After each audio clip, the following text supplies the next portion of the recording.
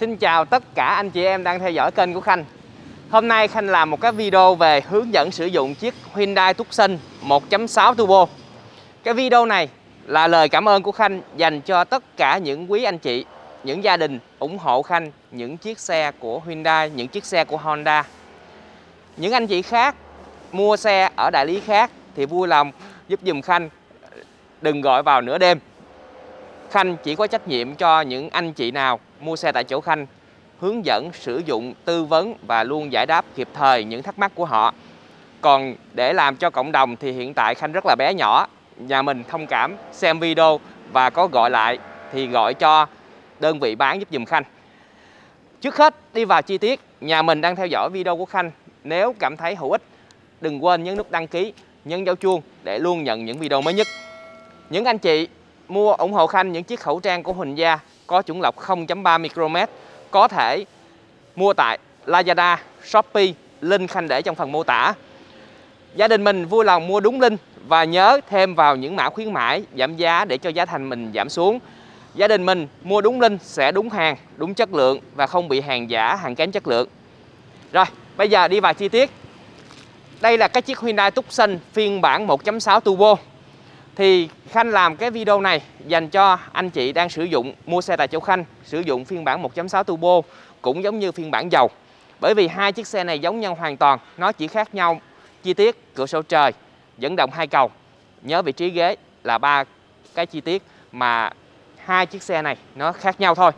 Còn lại mọi thứ nó giống nhau hoàn toàn còn về giá bán của xe, hiện tại nhà mình có thể tham khảo ở phía góc bên phải màn hình của Khanh. Giá bán của phiên bản turbo, giá bán của phiên bản máy dầu. Đây là giá niêm yết chưa bao gồm chương trình ưu đãi giảm giá. Nếu nhà mình lăn bánh tại tỉnh, nó sẽ có chi phí khác. Biển số Hồ Chí Minh và lệch nhau 19 triệu do phí biển số. Hiện tại đây là giá niêm yết thì nếu nhà mình đang xem video ở một cái thời điểm khác thì có thể chi phí lăn bánh cũng giống như chi phí khuyến mãi, cũng giống như tất cả những cái chương trình ưu đãi của chiếc xe, nó cũng khác với thời điểm khanh quay. Nhà mình vui lòng nhấc máy ngay số hotline 0788 555 444 khanh sẽ cập nhật những cái chi phí mới nhất dành cho gia đình mình để nhà mình có thể đem chiếc xe về với nhiều ưu đãi nhất. Bây giờ trước khi đi vào chi tiết thì khanh muốn giới thiệu cho nhà mình cái tính năng trên chiếc chìa khóa. Đây là cái chiếc chìa khóa của chiếc Hyundai Tucson, thì nó sẽ giống như là của Santa Fe nó sẽ có tính năng là đề nổ từ xa cho tất cả bốn phiên bản. Thì nhà mình muốn kích hoạt cái chức năng đề nổ từ xa chỉ cần bấm lóc cửa và đè giữ chữ home thì như vậy cái chiếc xe của mình đã được kích hoạt đề nổ từ xa. Nếu mà mình muốn tắt thì mình cũng đè tiếp chữ home thì nó sẽ tắt máy. Trong trường hợp mình không lên xe thì 10 phút sau tự động cái xe của mình sẽ tắt động cơ để đảm bảo cái việc mà vận hành cũng giống như nhiên liệu cũng giống như nếu mà mình đậu xe ở trong một cái không gian hẹp mà mình nổ máy liên tục như vậy nó sẽ rất là nguy hiểm. À, đối với cái đề nổ từ xa này nếu nhà mình đang để xe ở dưới trời nắng thì nó sẽ kích hoạt máy lạnh. Nhưng nếu nhà mình ở khu vực miền Bắc để xe ở không khí lạnh thì nó sẽ kích hoạt hệ thống sưởi. Như vậy cái người ngồi lên xe sẽ mang cái cảm giác dễ chịu hơn rất là nhiều rồi, trên cái chiếc xe của mình á, thì cái tính năng nó sẽ có là lóc cửa từ xa, mở lóc cửa từ xa, mở cốp từ xa. Đây, mở cốp từ xa thì khanh sẽ mở cho nhà mình xem nha. Để mở cốp từ xa thì mình cũng đè giữ cái phần chữ hâu, hình cái cốp. Đây, đè giữ. Cốp xe sẽ mở lên. Còn mình muốn đóng cốp từ xa thì mình cũng làm y chang như vậy.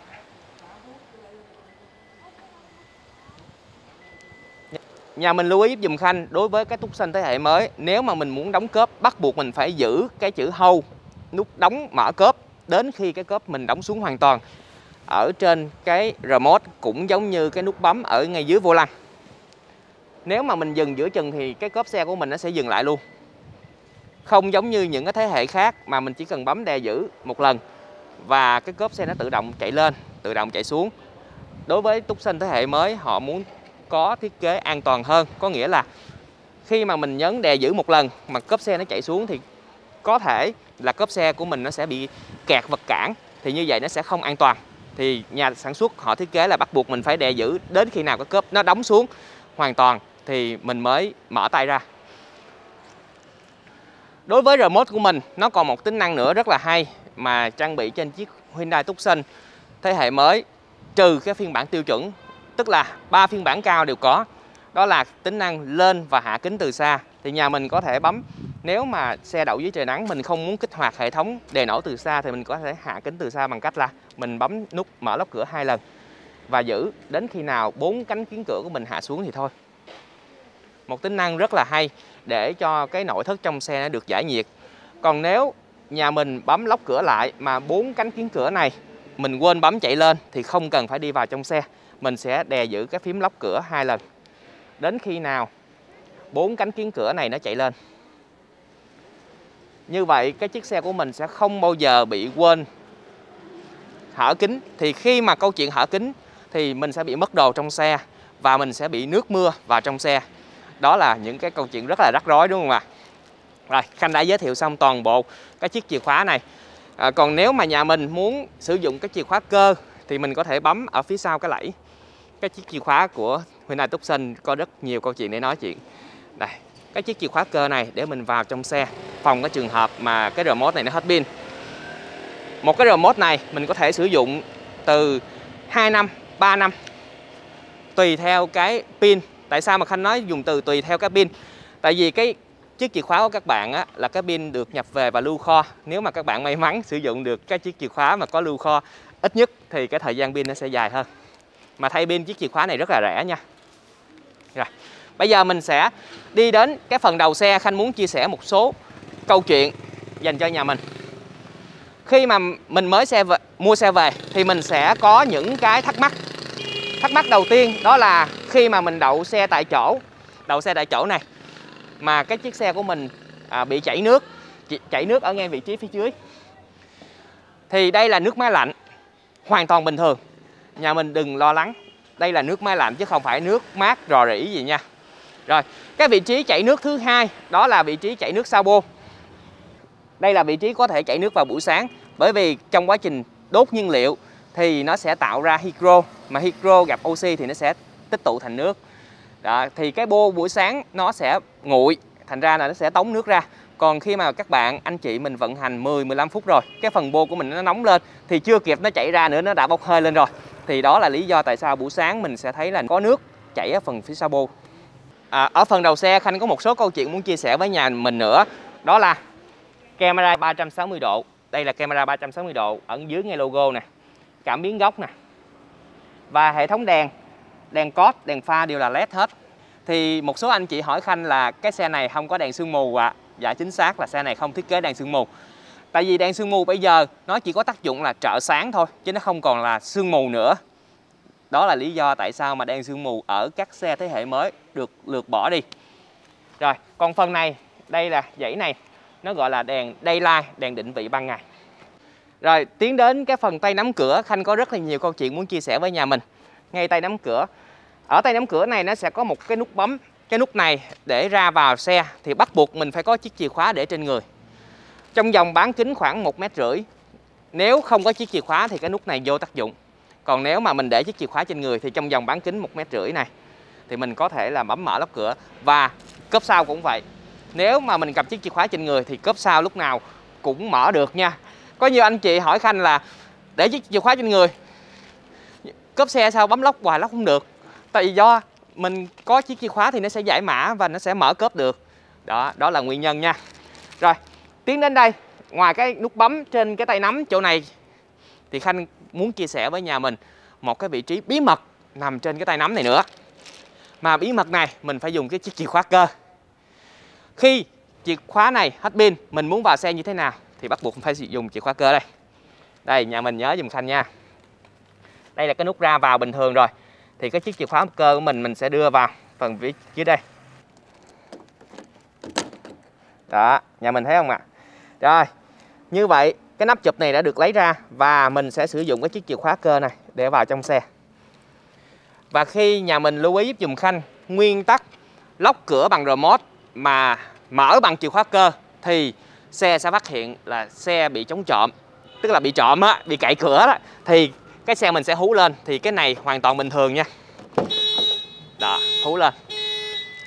Mình à, nếu mà vậy thì mình lên xe mình chỉ cần bấm đề lên start stop là tự động nó hết. Còn do hiện tại á, là cái chiếc chìa khóa khanh còn pin thành ra khanh bấm mở lắp cửa hoặc lắp cửa là nó tự động nó tắt.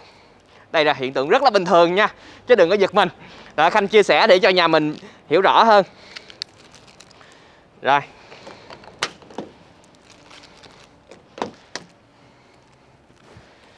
Khi mà mở cửa ra thì khanh giới thiệu cho mình các cái chi tiết ở ngay trụ B. Một cái trụ B là cái trụ rất là quan trọng, nó có rất là nhiều chi tiết dành cho nhà mình. Đây. Tiến đến trụ B thì khanh muốn chia sẻ với nhà mình, đó là cảm biến áp suất lớp. Thì áp suất lớp của mình là mình phải đặt là, đây các bạn, áp suất lớp nè. Nếu mà mình đơn vị là KPA thì nó là 240 nếu mà mình để 3 thì nó là 2.4 và mình để PSI thì nó là 3.5 đó, nhà mình thấy giúp dùm khanh. Nó tương ứng từ trái qua phải thì theo các đơn vị của nó nè. Đó. đó, mình phải bơm cái áp suất lớp và nhìn trong đồng hồ của mình áp suất lớp nó sẽ đúng cái này không à? Rồi, ở đây nó có là năm sản xuất. Thì xe của mình là năm sản xuất 2021 nếu mà chiếc xe của mình mua vào năm 2022 thì nó sẽ có năm sản xuất là 2022 đối với ghế ngồi, mình có thể điều chỉnh bằng cách là phần lưng ghế. Đây, ngã phần lưng ghế ngã sau ra sau dựng lưng phần lưng ghế nè. Rồi, ở đây là phòng lưng ghế. Đây, cái lưng ghế mình, cái tựa lưng nó sẽ phòng lên phòng xuống. Rồi, cái này mình muốn chạy lên, chạy xuống. Rồi, mình muốn hạ xuống thì mình nhấn xuống, mình muốn kéo lên thì nhấn lên. Rồi, mình muốn hạ phần đuôi xuống thì hạ phần đuôi xuống, mình kéo phần đuôi lên.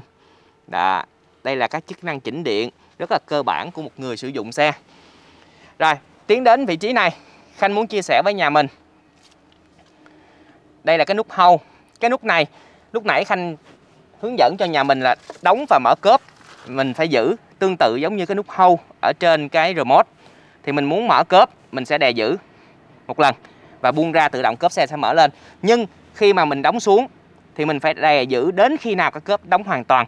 Còn trong quá trình đóng cốp xuống đối với chiếc túc xanh này mà mình dở tay ra thì cốp nó sẽ dừng lại lưu ý giúp dùm khanh. Còn nút này là nút tắt và mở hệ thống cân bằng điện tử kiểm soát lực kéo của xe.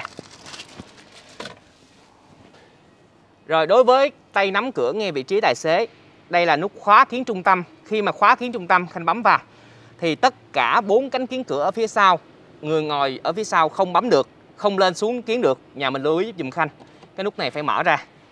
Rồi nhà mình có thể chủ động bằng cách đóng và lên hạ xuống bốn cánh kiến cửa. Đây là tương ứng với bốn vị trí kiến. Và cái kiến của mình được thiết kế là một chạm chống kẹt. Một chạm chống kẹt có nghĩa là khi mình bấm, cái kiến nó sẽ tự động chạy lên. Và kẹt tay. Đây.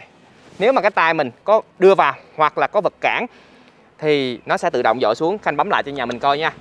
Nếu mà bàn tay của cô xót vé mà đưa vào mà anh chị nào mà lỡ tay bấm kéo lên thì nó cũng tụt xuống. Không bị đau tay những cái bàn tay xinh đẹp đưa ra. Rồi. Rồi phía trên nữa thì sẽ là lóc cửa và khóa lóc cửa trung tâm. Có nghĩa là khi mà mình bấm lóc cửa thì tất cả các cánh cửa của mình sẽ à, mở ra. Do xe mình lóc cửa theo tốc độ thành ra cái nút này gần như mình không cần quan tâm. Rồi nút này là xếp gương và mở xếp gương do xe mình đi ra ngoài bấm lóc cửa lại tự động gương xếp. Thành ra nút này cũng không cần quan tâm luôn. Nút này, chỉnh gương hậu bên trái, chỉnh gương hậu bên phải. Nếu mà mình muốn chỉnh gương hậu bên trái, lật lên, lật xuống thì mình bấm qua trái. Và mình chỉnh cái lòng gương 4 chiều. Đây, bây giờ khanh chỉnh nha. Chỉnh lòng gương 4 chiều. Đây 4 chiều, lên xuống, lật qua, lật lại. Rồi, nhà mình lưu ý giúp dùm khanh.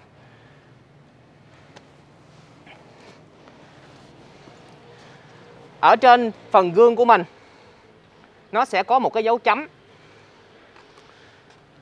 Cái dấu chấm này là hệ thống cảnh báo điểm mù. Đây đây là hệ thống cảnh báo điểm mù. Nếu mà chiếc xe của mình đang chạy mà có vật cản chạy song song, thì cái radar nó sẽ phát hiện và nó sẽ báo đèn đỏ trên đây. Cái phần mặt gương của mình có chức năng sấy gương, thì mình chỉ cần bấm vào chữ ria. Đây chữ ria này, nó sẽ sấy hai mặt gương và sấy cái phần gương cấp sau luôn. Đối với cái chiếc Hyundai Tucson phiên bản turbo, thì nó sẽ có thêm nhớ vị trí ghế, nhớ hai vị trí ghế. Sau khi mình đã chỉnh cái vị trí người ngồi đầy đủ và chuẩn, mình sẽ bấm vào chữ set và mình sẽ bấm vào số 1 đó. Sau khi bấm vào chữ set và bấm vào số 1 thì nó sẽ lưu vào vị trí số 1. Khanh ví dụ, người chồng là vào vị trí số 1 nhưng người vợ cái chân ngắn hơn. Chỉnh là ghế. Rồi, xong. Sẽ bấm chữ set và bấm số 2 như vậy, nếu anh chồng lên xe, bấm vào số 1 tự động cái ghế nó trượt ra. Theo đúng như cái vị trí của anh chồng đã set. Chị vợ lên xe, bấm vào số 2 đây là vị trí của tôi. Đó, nó, cái ghế nó sẽ điều chỉnh ngay cái vị trí tầm nhìn của người vợ. Rất là dễ chịu khi có nhớ hai vị trí ghế nhưng đối với một chiếc xe không có một người lái thì cái nhớ vị trí ghế này gần như không có xài tới. Thành ra nhà mình hãy lựa chọn các phiên bản à, turbo hay là phiên bản dầu hay là phiên bản tiêu chuẩn hay là phiên bản à, 2.0 đặc biệt theo cái nhu cầu của từng gia đình nha. Rồi ở đây mình có thể điều chỉnh cột lái. Cột lái này mình có thể điều chỉnh lên xuống. Đây. Sao cho cái tư thế ngồi của mình cái phần càm và cái phần đỉnh vô lăng, nó tương ứng với nhau. Đó, mình nhìn vào trọn hết cái đồng hồ trong cái không gian này. Như vậy, mình ngồi xe sẽ thoải mái nhất và mình điều chỉnh cái tay làm sao cho cái tay nó không bị thẳng quá. Nếu mà mình bị thẳng quá như vậy, nhà mình sẽ lái xe bị mệt. Lưu ý dùng khanh nha, mình điều chỉnh cái tay nó vừa cong khoảng này thôi.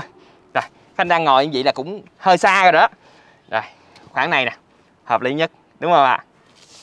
Và nhớ lên xe, luôn thắt dây đai an toàn. Đó là điều kiện tiên quyết. Nếu không thắt dây đai an toàn khi lái xe, sẽ bị phạt 950 ngàn.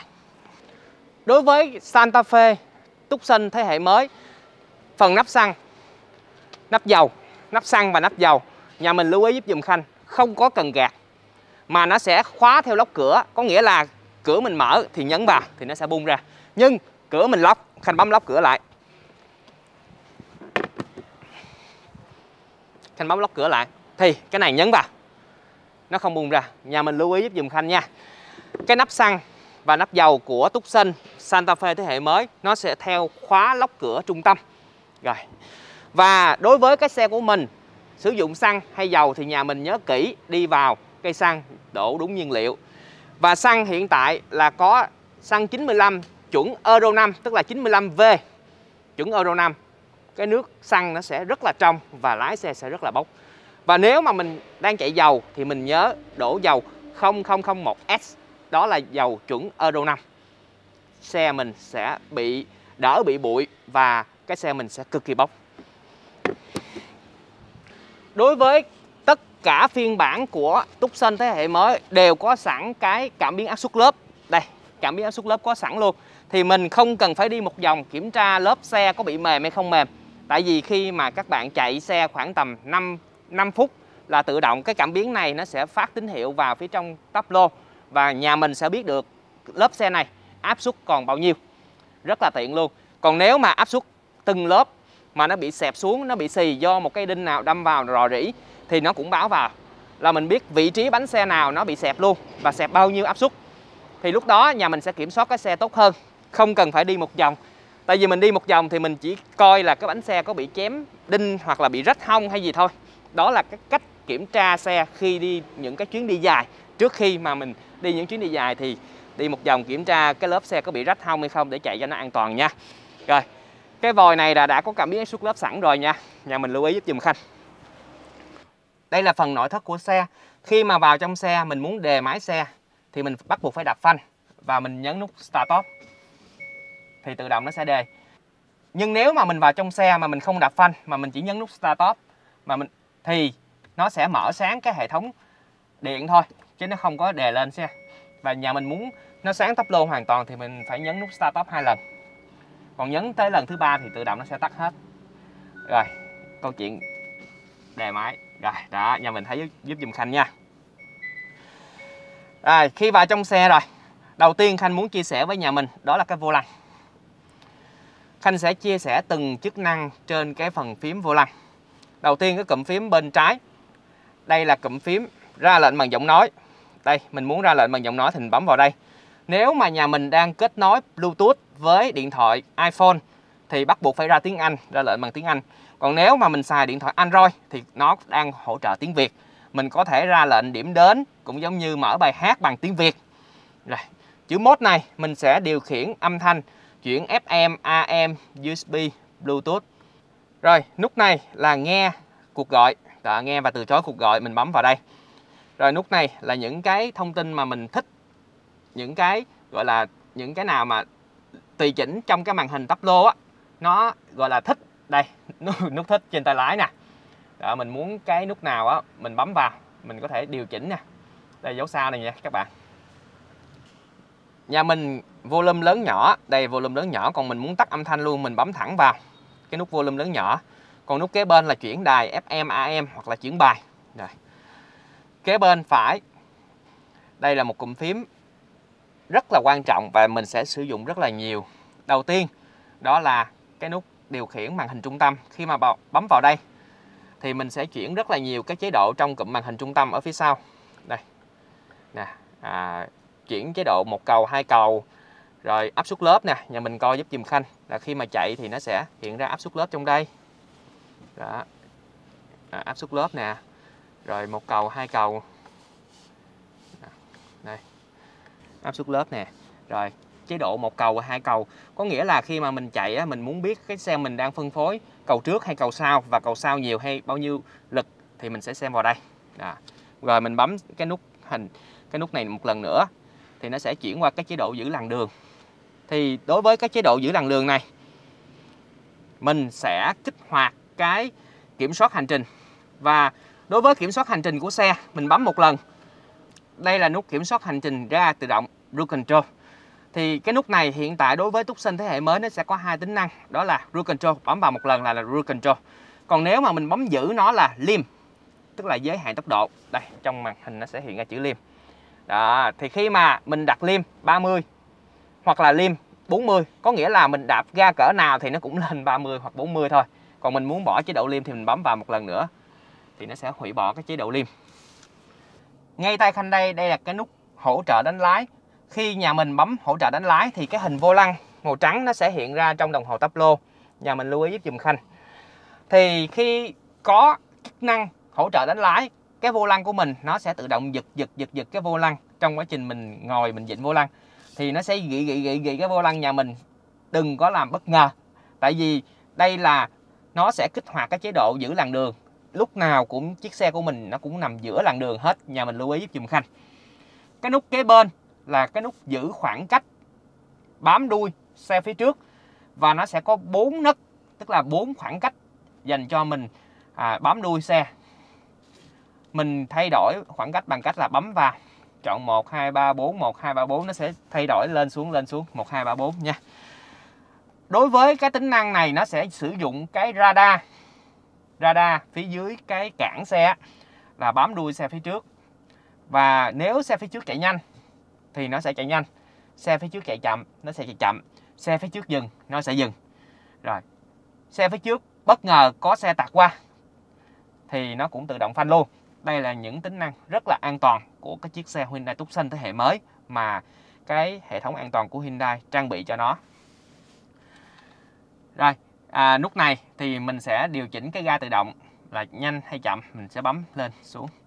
Rồi cái nút này hồi nãy là kết hợp với là cái cái hình quyển sách nè để mình điều chỉnh cái đồng hồ phía trong thôi. Rồi nhà mình lưu ý giúp dùm khanh trong cụm đồng hồ này nếu mà mình xi nhanh qua trái thì phần gương đây, gương bên trái, nó sẽ kích hoạt cái camera. Thì cái camera này rất là lợi hại. Nếu mà mình đi điều kiện trời mưa, ban đêm, mà kiến của mình bị mờ, bị mù hết, thì cái phần camera này sẽ giúp cho mình quan sát tốt hơn rất là nhiều, mình không bị điểm mù.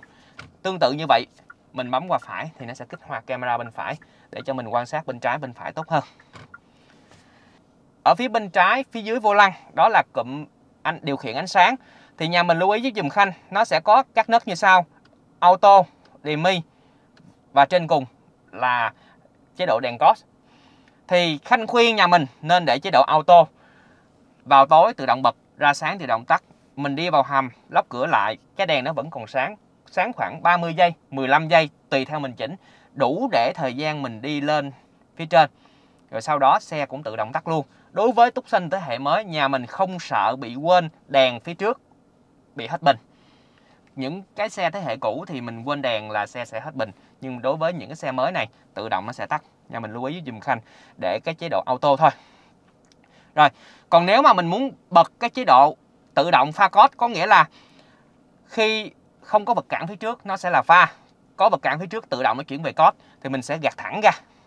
Thì khi mà mình gạt thẳng ra, trong cụm đồng hồ nó sẽ hiện ra cái chữ auto này. Nhà mình lưu ý giúp dùm khanh. Đây đây khanh bấm lại nha. Đây, gạt thẳng ra. Đó, nó hiện ra chữ auto. Thì khi mà nó hiện ra chữ auto này, tự động có xe phía trước, đèn của mình sẽ chuyển qua chế độ có. Không có xe phía trước, đèn của mình sẽ chuyển qua chế độ pha. Nó sẽ tốt hơn rất là nhiều. Còn nếu mà mình muốn đang chế độ auto mà mình muốn chủ động pha thì mình chỉ cần bấm vào thôi. Bấm vào thì nó pha, thì nó sẽ hiện ra cái đèn màu tím cái bên. Nhà mình lưu ý dùm khanh nha bên phải nó sẽ là cần gạt mưa nếu mà mình đẩy lên hết nó là chữ off. Đẩy đây nó là chữ auto. Thì khanh khuyên nhà mình nên để chữ auto. Trời mưa tự động gạt. Và cái dòng phía trong này nó sẽ điều chỉnh độ nhạy. Có nghĩa là độ nhạy cao nhất độ nhạy thấp hơn và độ nhạy thấp nhất. Độ nhạy có nghĩa là trời mưa. Nếu mà nhà mình để mức cao nhất này trời mưa nhỏ những hạt li ti nó cũng gạt.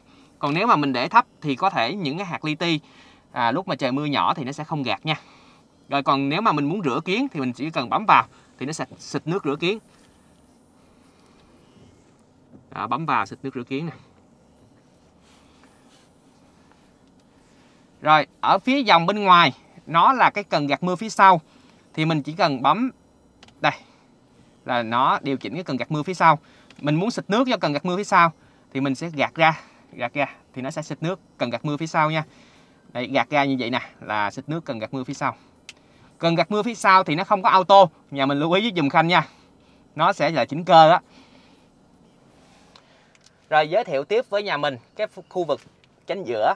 Rồi đầu tiên qua đây thì sẽ có là cái nút đề start stop thì nếu mà cái chiếc chìa khóa mình hết pin thì mình bắt buộc mình phải đưa cái chiếc chìa khóa này nè nhấn vào nhấn thẳng vào để đề. Nhà mình lưu ý giúp dùm khanh này nhấn thẳng cái chiếc chìa khóa vào. À, đó là một tính năng gọi là cứu vớt cứu vớt khi cái chiếc chìa khóa hết pin rồi khanh giới thiệu cho nhà mình màn hình giải trí trung tâm thì màn hình giải trí trung tâm của chiếc xe nó sẽ có kết nối Android Auto, Apple CarPlay USB Bluetooth FM AM thì đối với những đặc quyền của anh chị mua xe tại chỗ Khanh sẽ mặc nhiên có xem được YouTube khi chạy xe thì nhà mình sẽ xem được YouTube nè đó. Đó. đây là xem YouTube khi chạy xe đó. mình có thể là giải trí tốt hơn mà nguyên bản cái chiếc xe nó không có. Rồi, đối với bản đồ Google Maps thì mình có thể là ra lệnh bằng giọng nói khi chạy. Đây, khanh ra lệnh bằng giọng nói nha. Ok, Google. Dẫn đường về nhà. Đối với bản đồ Google Maps, nó còn cho phép mình kiểm soát cái đường xe, đường đi, có kẹt xe hay không kẹt xe bằng những cái hiển thị màu sắc. Màu xanh là không kẹt, màu đỏ là đường kẹt xe để mình tránh những cái đường khác, mình đi không bị, gọi là, mất thời gian. Đối với bản đồ Google Maps, mình sẽ không bị dẫn đường vào những cái con đường cấm giờ, cấm ô tô, đi ngược chiều. Đối với bản đồ Google Maps sẽ không bao giờ bị, nhà mình lưu ý giúp dùm khanh. Hãy tập cho mình thói quen bấm bản đồ Google Maps mỗi lần lên xe, sẽ giúp cho mình rất là lợi và đỡ bị mất tiền oan vì vi phạm luật giao thông. Đối với nguyên bản của chiếc xe, nhà sản xuất cũng có trang bị cho mình sẵn một cái bản đồ có tính năng cảnh báo tốc độ trên đường cho phép. Có nghĩa là ở đây là tốc độ của mình đang chạy. Nó sẽ hiện ra tốc độ của đường cho phép tối đa để mình không bị vi phạm giao thông. Nhưng đây là dữ liệu bản đồ chết, thành ra mình chỉ mang tính chất là tham khảo. Mình sẽ cập nhật mỗi 6 tháng đến một năm. Trên màn hình của mình, nếu nhà mình muốn kích hoạt hệ thống camera 360 độ thì mình sẽ nhấn vào chữ P ở ngay cái cụm này. Đây, nhấn vào chữ P. Đây, nó có nút chữ P nè, nhấn vào. Thì nó sẽ kích hoạt cái camera 360 độ để mình đi vào những cái chỗ gọi là rất là hẹp mà rất là nhỏ, mình sẽ luồn lách rất là dễ à, mình sẽ nhìn thấy quan sát cả bên hông bên trái hoặc là bên phải. Đây mình sẽ quan sát trước sau trái phải nè. Đó nó sẽ dễ dàng hơn rất là nhiều. Mình sẽ bấm vào đây. À, nhà mình lưu ý giúp dùm khanh nha. Và có một cái hay nữa là khi mà xoay vô lăng nó sẽ xoay qua trái xoay qua phải để mình biết được cái bánh xe phía trước của mình có thẳng hay là xéo. Thì nếu mà bánh xe phía trước của mình nó xéo thì mình sẽ điều chỉnh lại làm sao cho nó thẳng thì khi mà mình tắt máy rồi cái xe mình lúc nào nó cũng thẳng hết và lúc nào nó cũng đẹp trai hết rồi, đó là những cái tính năng trên cái màn hình này mà Khanh muốn giới thiệu cho nhà mình. Đối với cụm điều khiển máy lạnh nhà mình sẽ có là tự động hai vùng độc lập. Có nghĩa là mỗi bên mỗi nhiệt độ khác nhau nhưng khi nhà mình bấm vào chữ sinh sinh này có nghĩa là đồng bộ thì nó sẽ theo cái nhiệt độ bên của tài xế. Còn mình tắt chữ sinh đi thì nó sẽ độc lập hai bên cái chữ diffuse khi mà mình nhấn vào, thì cái hướng gió nó sẽ chỉnh ngay người và ngay chân để giúp cho mình mát nhanh hơn. Đây là một tính năng mới trên cái dàn lạnh của mình. Cái nút rear là nút sấy gương hậu. Hai bên cũng giống như cái kiến phía sau mà lúc nãy khanh có giới thiệu, là mình đi trời mưa, cái phần gương hậu của mình nó bị, là bị mờ kiến thì mình sẽ bấm chữ rear này để nó sấy gương lên phía dưới đây là hai cổng USB nếu mà mình muốn cắm Apple CarPlay và Android Auto thì mình cắm vào USB này. Còn mình chỉ có sạc không thì mình cắm vào USB này. Ở đây mình có thêm một cái cổng sạc QI chuẩn không dây. Thì nếu mà điện thoại của mình có hỗ trợ sạc không dây thì mình chỉ cần để vào, đặt vị trí này. Đó, thì cái điện thoại mình nó sẽ sạc và lúc mà nó sạc thì nó sẽ báo một đèn màu vàng để vị trí ngang này nha chứ không để dưới đây để dưới đây là không có sạc như nhà mình. Nhớ giúp dùm khanh. Là để vị trí này. Rồi ở phía chỗ hàng nút này đây là thông hơi ghế phía trước có nghĩa là nó sẽ thổi máy lạnh vào cái ghế phía trước của ghế tài xế. Đây nó có ba nấc. Đó, khanh rất là thích chức năng này. Còn nếu mà mình ghế phụ đây mình sẽ bấm vào. Còn nếu mà mình muốn sấy ghế thì mình bấm vào đây sấy ghế màu vàng là sấy ghế, màu xanh là thông hơi ghế nha. Màu vàng, sấy có nghĩa là mình thổi hơi nóng. Còn màu xanh là mình thổi hơi lạnh. Rồi, cái này là kích hoạt cái hệ thống camera 360 độ. Cái này là kích hoạt cảm biến da cảm biến góc nút này là hỗ trợ đổ đèo, có nghĩa là khi mình bấm vào nút này, cái chế độ downhill brake control nó sẽ kích hoạt lên. Cái chế độ hỗ trợ đổ đèo sẽ giúp cho mình kiểm soát các chiếc xe tốt hơn rất là nhiều nếu mà mình đang đi xuống dốc nếu mà cái tay lái của mình à, gọi là, kém á, mình không biết kiểm soát, rồi ga số như thế nào thì mình sẽ bấm vào cái nút hỗ trợ đổ đèo để mình đi nha. Cái nút này là sấy vô lăng, thì trong miền Nam gần như cái sấy vô lăng này không cần. Đó, rồi. Đối với cái xe phiên bản turbo sẽ có thêm nút khóa visa trung tâm. Mình bấm vào đây thì nó sẽ khóa visa trung tâm để cái chiếc xe của mình đi vào những cái chỗ gọi là xa lầy hoặc là bị trượt bánh thì mình sẽ khóa visa trung tâm. Lưu ý dùm khanh, do xe mình là xe hai cầu, thành ra sẽ có thêm tính năng này. Tại sao mà một số anh chị hỏi khanh là cái Santa Fe nó không có? Tại vì Santa Fe nó có chế độ địa hình, có nghĩa là đi cát, đi bùn, đi sỏi, thì nó sẽ không có cần cái chế độ khóa visa trung tâm này, tại vì máy tính nó tự hiểu. Còn cái chiếc xe túc xanh của mình không có chế độ địa hình, chính vì vậy nó sẽ trang bị cho mình thêm cái khóa visa trung tâm. Khanh sẽ làm một cái bài về cái khóa visa trung tâm cũng giống như hệ thống cầu sau của chiếc xe tucson hai cầu này vào một cái video khác nhà mình nhớ theo dõi. Ở đây là chế độ try mode khi mình bấm cần. Có thể bấm lên cũng có thể bấm xuống. Nó giống nhau. Thoải mái muốn bấm lên cũng được muốn bấm xuống cũng được. Thì đối với cái tucson phiên bản turbo và phiên bản dầu thì sẽ có bốn chế độ lái Eco, Smart, Normal. Là bốn chế độ lái. Còn hai phiên bản tiêu chuẩn và phiên bản 2.0 đặc biệt thì nó chỉ có 3 chế độ lái thôi.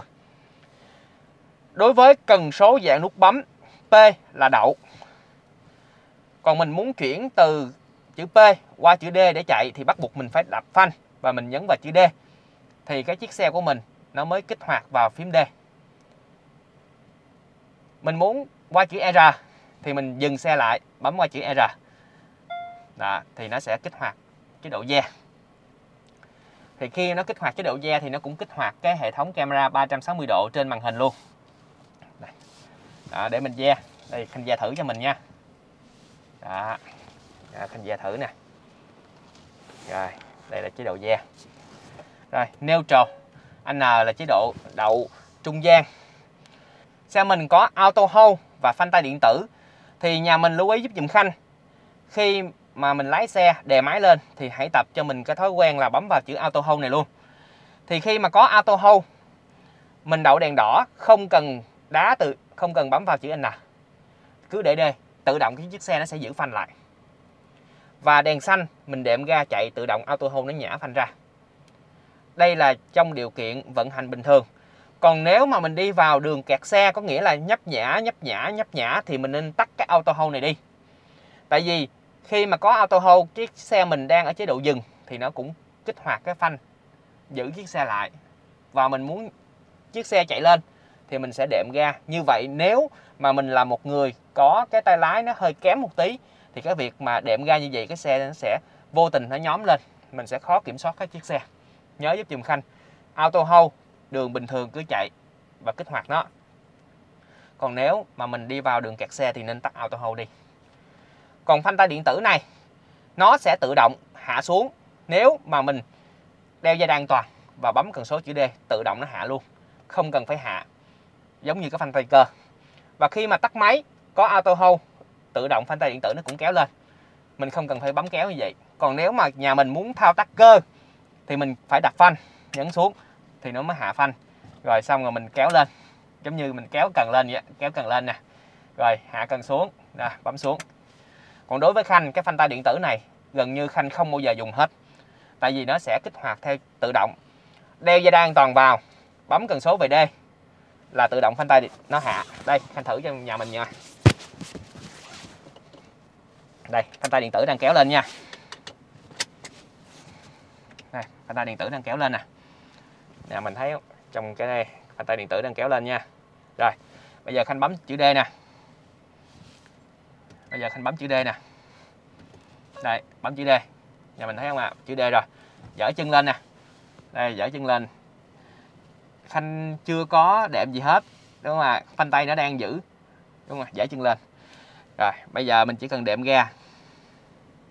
Đó, đệm ga là tự động phanh tay điện tử nó nhả xuống. Nhà mình lưu ý giúp dùm khanh, có phanh tay điện tử sẽ cực kỳ an toàn. Và có auto hold càng an toàn hơn. Đây, đang chạy. Auto hold kích hoạt luôn, dở chân lên cần số vẫn còn D nha. Đó vẫn còn D trong đây nè. Đó, xe mình đâu có bị trôi đâu. Coi đây là đèn đỏ nha. Còn nếu mà đèn xanh đệm ga. Chạy thôi. Rất là nhẹ nhàng thoải mái. Và có chế độ auto hold này mình đậu đèn đỏ thì cái chân của mình nó sẽ được gọi là nghỉ xả hơi mấy chục giây. Trên đây là cửa sổ trời và chỉ có phiên bản turbo mới có cửa sổ trời. Thì nhà mình nhớ giúp dùm khanh đây là cái nút bấm để mở rèm và mở cửa sổ trời. Thì cái nút bấm này nó sẽ có hai nấc. Nếu mà mình bấm nhẹ một nấc, nhẹ thôi, nhẹ nhàng thôi, bấm nhẹ một nấc, thì cái phần rèm nó sẽ trượt ra. Nhưng đây khanh đóng lại nha.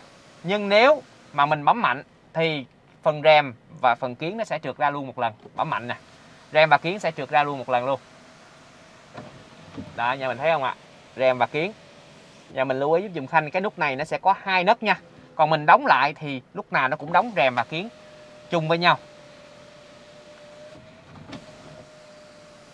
Còn nếu mà mình chỉ muốn đóng rèm không á, thì mình cũng đóng, bấm vào, nhẹ một nấc thôi. Đây là khanh mở rèm ra không nè. Nhẹ thôi, nhẹ nhàng một nấc. Đó, cái này là mở rèm không thôi. Rồi, bây giờ khanh đóng rèm không nè. Đó. Nhà mình lưu ý giúp dùm khanh nha, cái nút này nó có hai khoảng cách để mình có thể nhấn cái lực nó khác nhau rồi cái này là nút đèn trần. Là cái nút này đèn theo cửa. Mình có thể tùy chọn. Còn cái gương hậu này là nó tự động chống chói rồi. À, đối với cái phiên bản cao là nó tự động chống chói hết rồi. Còn riêng cái phiên bản tiêu chuẩn thì nó sẽ có cần lẫy ở phía sau. Nếu mà mình bị chói mắt thì mình sẽ lẫy cái cần lẫy ở phía sau. Khanh sẽ làm một cái bài hướng dẫn của cái xe tiêu chuẩn sau dành cho nhà mình. Đối với cái xe 1.6 turbo thì cái phần hông ghế nó sẽ có thêm nút điều chỉnh bên đây. Mình sẽ chủ động điều chỉnh ở vị trí ghế tài xế mình điều chỉnh nè. Đó. Ông chủ ngồi phía sau sẽ dễ chịu hơn rất là nhiều. Lúc này ông chủ sẽ trả lương nhiều hơn. Còn nếu mà bà chủ ngồi phía sau thì bà chủ sẽ thưởng thêm à, ban đêm. Mình sẽ điều khiển à, mình sẽ điều chỉnh à, dành cho bà chủ. À, bà chủ và ông chủ ngồi phía sau. Nhớ là ông chủ lúc mà chỉnh cho bà chủ thì ông chủ phải ngồi trước nha. Chứ à, ngồi tầm bậy là mệt lắm à đó, mình sẽ chủ động điều chỉnh cho các người ngồi phía sau vị trí này, thoải mái hơn rất là nhiều. Riêng cái phiên bản turbo sẽ có cái nút bên hông. Đối với hàng ghế sau thì mình sẽ không có trượt tới trượt lui được. Đây là chiếc xe 5 chỗ cố định. Nó không phải là chiếc xe 7 chỗ, nhưng cái Hyundai Tucson thế hệ mới có khoảng cách để chân rất là rộng. Nhà mình sẽ ngồi vào đây và cảm nhận cái lời nói của Khanh. Đó là một sự khác biệt hoàn toàn trên tất cả những chiếc xe 5 chỗ gầm cao kích cỡ Tucson. Để điều chỉnh phần lưng ghế đây là chiếc xe có phần lưng ghế ngã như chiếc xe 7 chỗ. Đây, mình chỉ cần lấy cái này. Ngã rất là sâu. Những chuyến đi dài cần có một cái lưng ghế ngã sâu như vậy. Rồi, tiện nghi của hàng ghế sau. Thì mình sẽ có là tay tựa hàng ghế sau để mình để cốc nước. Rồi, hai cái cổng sạc USB cửa gió hàng ghế sau. Nhà mình lưu ý dùm khanh, có cửa gió hàng ghế sau nha. Đây là một trong những cái điều kiện rất là cần thiết ở thị trường Việt Nam bây giờ rồi các học để đồ. Đây các học để đồ có rất là nhiều. Ở cửa sau, khanh muốn chia sẻ với nhà mình một cái chi tiết mà nhà mình thường hay quên, đó là khóa an toàn trẻ em. Đây, nó sẽ có một cái lỗ nhỏ ở vị trí này. Khi mà mình chuyển cái khóa an toàn trẻ em này, chuyển qua, thì ở phía trong không mở ra được, mà bắt buộc phải mở từ bên ngoài. Đây là một cái tính năng bảo vệ cho các bé ngồi phía sau mà nếu mà hiếu động thì các bé thường hay giật cái cần này.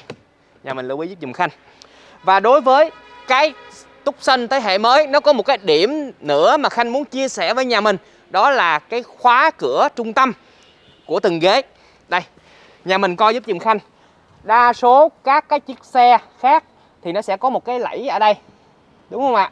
Cái lẫy tròn để mình khiều qua khiều lại, đúng không? Nhưng túc xanh sẽ không có thì như vậy, cái cửa này nó đang khóa, thì mình muốn mở cửa này. Bằng cách là gì? Mình sẽ kéo cần này hai lần, thì nó mới mở khóa. Nó sẽ tích hợp vào cái cần này luôn. Một chức năng, một cần, hai chức năng. Mình kéo một cái, thì nó sẽ không mở, mà mình sẽ kéo hai cái. Như vậy cái cửa mình mới mở ra được nha. Lưu ý giúp dùng khanh. Túc xanh có phần cửa khác với các chiếc xe khác. Đối với chiếc xe túc xanh thế hệ mới, cốp xe sẽ có tính năng mở cốp thông minh cầm chiếc chìa khóa phía sau cốp. Cốp xe sẽ tự động mở lên. Như vậy, mình đi siêu thị, mình sẽ tiện hơn rất là nhiều. Rồi. Cốp xe mở lên, bỏ đồ vào thôi. Khanh muốn giới thiệu cho nhà mình cái tính năng ở phần phía sau cốp. Cái cốp xe mình, nó sẽ điều chỉnh được độ cao. Khi mà người chủ xe có chiều cao thấp hơn cái vị trí này, thì mình có thể kéo xuống. Và mình đè giữ cái nút này đến khi nào nghe tiếng bíp bíp như vậy, nó đã được thiết lập cái vị trí mở lên ngay vị trí này. Mình đóng xuống.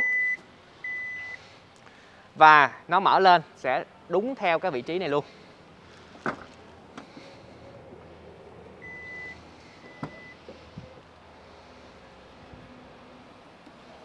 Dừng lại, đúng không ạ? Rồi, cốp xe của mình sẽ có tính năng chống kẹt, bấm xuống nếu gặp vật cản. Đó như vậy sẽ cực kỳ an toàn. Đó là những cái mà Khanh muốn chia sẻ với nhà mình trên cái chiếc xe Hyundai Tucson. Và nhà mình lưu ý giúp dùm Khanh cái phần mở cốp sau là nó nằm ở vị trí này. Đây vị trí mở cốp cái, gọi là cái nút mở cốp á, nằm ngay vị trí này nha. Chứ cái phần mà ngay camera là nó không có nút mở cốp đâu đừng có gờ ngay camera. Rồi cái Tucson thế hệ mới thì cái phần gạt mưa nó được giấu ở phía trong đây rồi. Đó như vậy thay lưỡi gạt mưa như thế nào? Chờ một video khác nha. Đó là một câu chuyện khanh sẽ chia sẻ sau.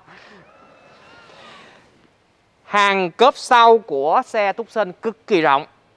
Đó thì nhà mình sẽ chủ động đứng ở phía sau đây xếp hai cái lưng ghế lại bằng cách là gì? Kéo cái nút này. Lưng ghế nó xếp luôn. Rồi bên đây cũng vậy à lưng ghế xếp luôn. Mình sẽ chủ động hơn trong quá trình sử dụng cái chiếc xe. Rồi, mình muốn thay bánh xe dự phòng. Mở lên đây. Đây, năm mâm giống nhau. Đây là bánh xe dự phòng. Đây là phần con đội. Rồi, đây là túi túi đồ. Đi theo xe, chỉ có túi đồ, con đội, bánh xe dự phòng. Còn lại của đại lý tặng, hoặc là đại lý bán, chứ theo xe, không có những món khác nha. Đừng đòi thêm. Bây giờ mình đến câu chuyện là mở nắp capo như thế nào. Đối với mở nắp capo thì đây, cái vị trí mở này. Mình kéo cần. Đây, cái cần của mình. Xe mình nó chỉ có một cần thôi nha. Rồi, ngay cái logo của Hyundai. Ngay cái logo của Hyundai mình cứ đưa tay thẳng vào là gạt ngang thôi. Đừng có gờ tới gờ lui. Ngay logo Hyundai đưa tay thẳng vào, gạt qua.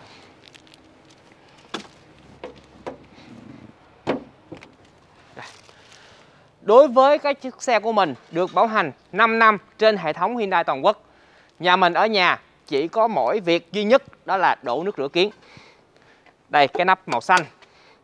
Cái nắp này là đổ nước rửa kiến.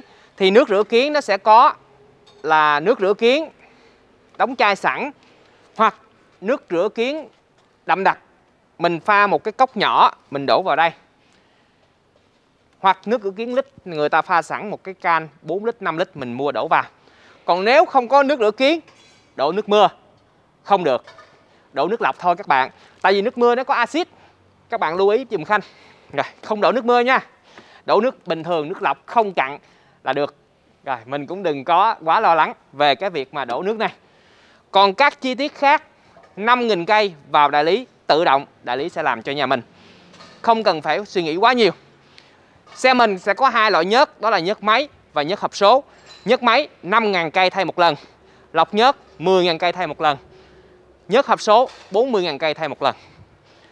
Nhà sản xuất sẽ thông báo cho nhà mình đến đợt bảo dưỡng, chi phí bao nhiêu. Và mỗi lần như vậy làm bảo dưỡng thì tiền nhớt của mình, cái xe 1.6 turbo này tiền nhớt nó khoảng mấy trăm ngàn rất là rẻ. Thì à, đa số các lần bảo dưỡng nó sẽ mắc ở 20.000 cây và 40.000 cây. 40.000 cây nó gọi là cấp bảo dưỡng lớn mình sẽ thay đồ nhiều thành ra nó đắt tiền. Thì nó chắc khoảng 6-7 triệu gì đó nếu ở cấp 40.000 cây. Còn nếu mà mình bảo dưỡng cấp 5 ngàn, 10 ngàn, 15 ngàn, 20 ngàn thì rất là rẻ nó chỉ có vài 1 triệu mấy, 1 triệu mấy, 1 triệu mấy thôi. Riêng cấp 1 ngàn thì dưới 1 triệu. Rồi. À, xe của mình chỉ đổ nước rửa kiến ở nhà còn nhà mình sẽ có là cái bình màu trắng này. Đây là cái bình nước làm mát dự phòng. Có nghĩa là nước làm mát hồi vào cái bình này, các bạn sẽ thấy chữ min mắt. Đây có chữ min mắt. Đó, thì nước làm mát nó vào cái bình này là gọi là thừa rồi. Bình thường nha. Cái nước làm mát này thay 40.000 cây. Tại sao mà lúc nãy Khanh chia sẻ là 40.000 cây? Thì xe sẽ làm nhiều nhất, đó là 40.000 cây mình sẽ thay rất là nhiều nước làm mát, dây curo rồi dầu phanh, vân vân. Rồi, đây là dầu phanh. Mình, nó là dung dịch, thành ra mình chỉ nhìn vào, nhìn thấy nó màu hương là được. Đây dầu phanh nè. Nhìn thấy nó là được rồi. Thì cái dung dịch này cũng 40.000 cây mới thay. Nhà mình lưu ý dùm Khanh cái chiếc xe được bảo hành 5 năm hoặc 100.000 km, toàn hệ thống Hyundai. Nhà mình mua tại Châu Khanh có thể bảo hành toàn quốc, thoải mái, không vướng bất kỳ vấn đề gì hết. Nhưng, mình ắc quy chỉ bảo hành 1 năm hoặc 20.000 km tùy theo điều kiện nào đến trước. Bình ắc quy bảo hành 1 năm. Thì trong quá trình một năm mấy ngày thì nhà mình hư cũng phải thay cái bình ắc quy. Nhưng cái bình ắc quy này thay cũng rất là rẻ. Nó rơi vào khoảng là 2 triệu đổ lại thôi không có quá mắc đâu. Rồi à, nhà mình lưu ý dùm khanh đây là vị trí cổ e tức là hốc lấy gió của xe thì đối với cái Hyundai Tucson thế hệ mới, người ta đã thiết kế cái, gọi là cái lưới lọc ở một cái vị trí rất là dễ, gọi là dễ thay thế, dễ bảo dưỡng. Đây, chỉ cần lẫy lên. Rồi, gạt. Gạt, kéo ra. Cái lọc này thì mình sẽ thay thay theo chu kỳ. Đó. và nhà mình lưu ý với mình khanh nha.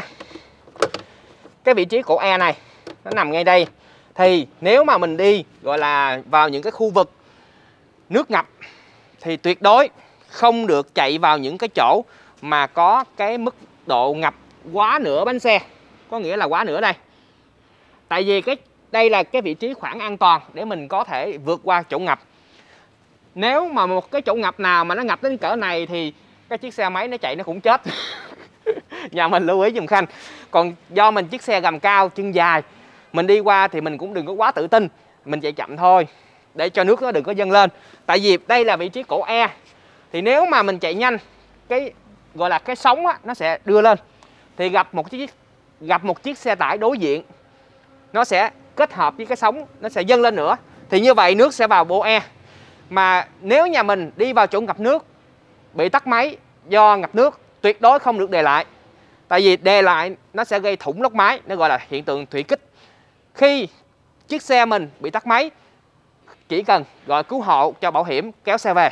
Bảo hiểm sẽ trả 80% chi phí sửa, nhà mình chịu 20% chi phí sửa. Tuyệt đối không được để lại nha. Rồi, ở đây mình có thêm một cái que thăm dầu. Đây đây là gọi là cái que thăm dầu. Thì cái que này à, ở nhà mình xem chơi cho vui thôi, chứ còn đi vào đại lý là người ta đã làm hết. Thì nhà mình sẽ xem dầu nó nằm trong khoảng mức này là ok nha gọi là que thăm dầu. À, dầu nhớt thì 5.000 cây nhớt máy thì 5.000 cây thay một lần. Còn nhớt hộp số thì nằm túc ở trong rồi. Mình cũng không cần phải suy nghĩ quá nhiều nó nó làm gì. Đây.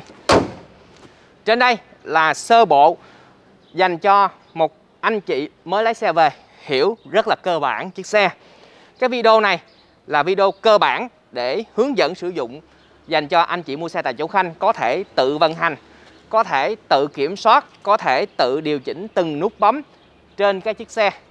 Mong rằng cái video này của Khanh sẽ mang lại giá trị cũng giống như giúp cho nhà mình tự tin sử dụng cái chiếc xe khi mua tại chỗ Khanh. Còn những video về chuyên sâu hơn, về những cái hướng dẫn chi tiết ở phía trong phía trong phía trong nữa thì Khanh sẽ làm sau gửi cho nhà mình. Những anh chị mua xe tại chỗ Khanh luôn luôn được hướng dẫn, luôn luôn được chia sẻ những cái hay, cái mới trên các chiếc xe. Cảm ơn các bạn đã quan tâm theo dõi. Bye bye và xin hẹn gặp lại ở các video sau.